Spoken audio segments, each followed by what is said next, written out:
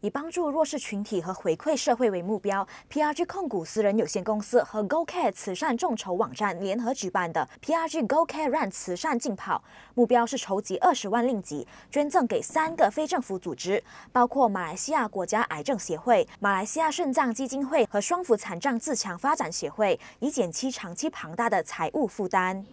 So our target is to raise at least 10 bands in five years. The cost we need to get.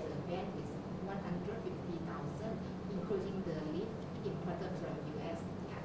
So we urge that more people can get involved in the PRG Go Run, Go Care Run project and also support us to achieve this target so we can serve the community.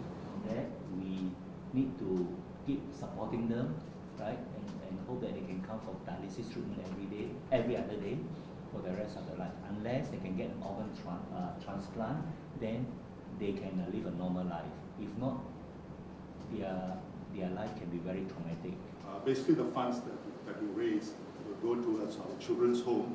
Uh, the children's home is, is, is where we provide accommodation. As you saw on the video just now, we provide accommodation for children with cancer who come to Kuala Lumpur for treatment. Right? Uh, these are children from out of, out of the state. DRG Go Care Run 慈善竞跑将于二零一六年十月十六日上午七时十五分在 Daman d a s e Dato k r a m a 进行。竞跑将分为五公里和十公里，从二零一六年八月十五日起接受报名。预报名者可登录 www.myraceonline.com。